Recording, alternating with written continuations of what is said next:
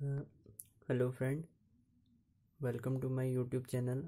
तो दोस्तों आज हम पढ़ने जा रहे हैं कंप्यूटर ग्राफिक्स के अंदर वेनिसिंग uh, पॉइंट को। uh, हिंदी में समझेंगे कि व्हाट इज़ वेनिसिंग पॉइंट। तो uh, चलिए वीडियो को शुरू करते हैं बिना अपने समय को गवाए हुए। तो प्रस्पेक्टिव प्रोजेक्शन में वेनिसिंग पॉइंट इमेज प्लेन में केवल इमेज प्लेन में एक पॉइंट होता है। तो यानी कि इससे पहले हमने प्रिस्पेक्टिव प्रोजेक्शन के बारे में जाना था कि क्या होता है प्रिस्पेक्टिव प्रोजेक्शन तो प्रिस्पेक्टिव प्रोजेक्शन के अंदर ही वेनिसिंग पॉइंट उसी इमेज के एक प्लेन में एक छोटा सा एक जो पॉइंट है, वो होता है हमारा वेनिसिंग पॉइंट तो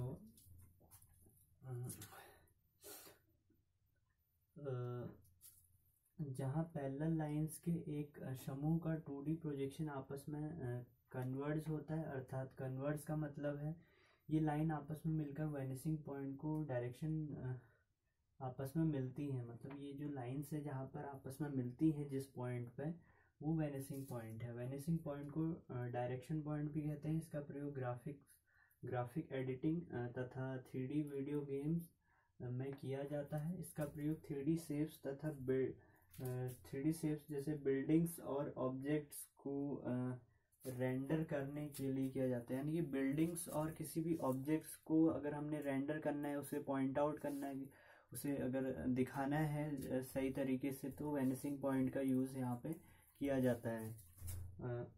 दूसरा हम आते हैं और किया जाता है। और इसके द्वारा इमेज के बैकग्राउंड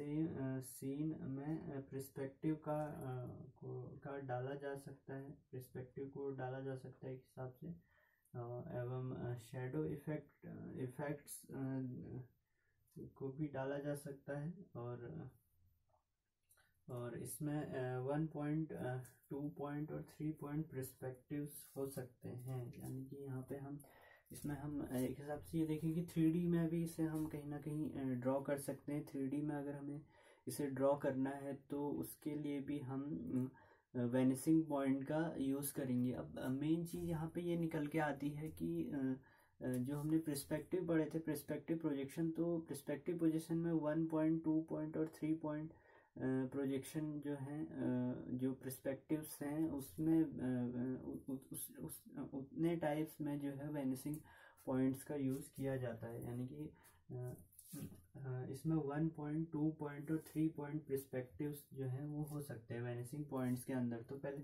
सबसे पहले हम बात करेंगे वन पॉइंट्स की। इसमें केवल एक ही वेनिसिंग पॉइंट होगा।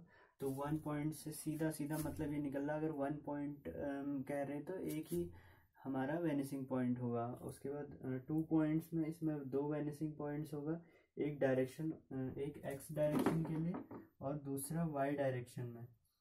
थ्री पॉइंट्स इसमें वेनिसिंग पॉइंट्स तीन वेनिसिंग पॉइंट्स होंगे। एक एक्स डायरेक्शन में, दूसरा वाई डायरेक्शन में और और तीसरा दोनों डायरेक्शन में मतलब तीसरा जो है जेड डायरेक्शन में ना होकर के दोनों डायरेक्शन में होगा मतलब तीसरा वाला एक्स एक्स डायरेक्शन में भी होगा और वाई डायरेक्शन में भी होगा। कह सकते हैं डायगनली स्लैंट डायरेक्शन में कह सकते हैं एक जो तीसरा पॉइंट जो होगा इसका।